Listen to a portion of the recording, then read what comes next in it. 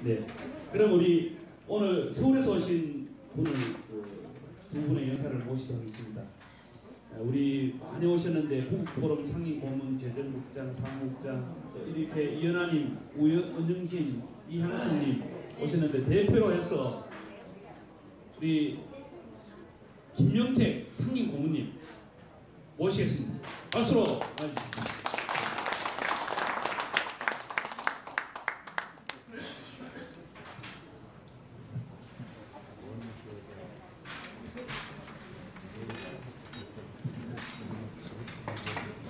어, 원래 대선배이신 우리 장영순 선배님께서 좋은 말씀 해주신 데 대해서 경의와 감사를 드립니다. 감사합니다. 식사를 앞두고 있고 어, 뭐긴 얘기를 할 수 없어서 간단하게 제 제안 하나를 하는 것으로 제 얘기를 가름하고자 합니다.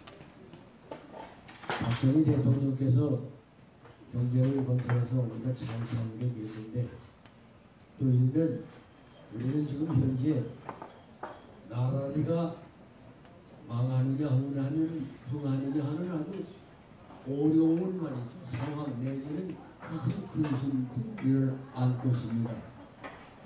어떻게 하다 이렇게 되는가 그 한 단면으로서 우리가 빨갱이라는 말을 잃어버리기 때문에 그렇게 됐다 그런 생각을 합니다.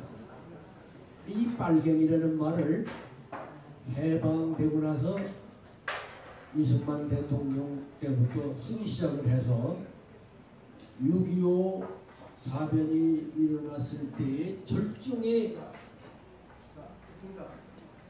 이르게 정도로다가 사용을 했습니다. 그래서 빨갱이 빨갱이 하면은 아주 우리들이 모두 침을 떨었고 빨갱이들이 쪽을 못 썼어요.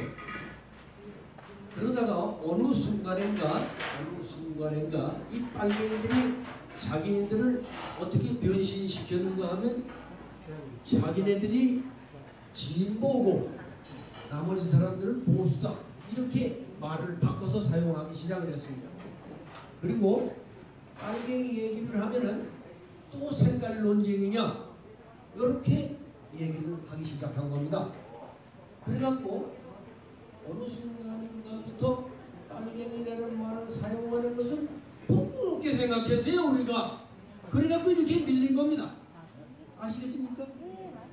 아주 간단한 것이지만은 저들이 언어 전술에 우리가 속은 겁니다. 그래서 앞으로는 말이죠. 우리가 다시 복음을 내 들어야 한다. 다시 말하면 빨갱이라는 말을 다시 꺼내서 사용을 해야 한다 하는 제안을 오늘 여러분들이 하면서 제 이야기로 합니다. 감사합니다. 아니 뭐그 공산당 빨갱이 보고 빨갱이라고 하는데 그건 잘못된 게 아니지 않습니까?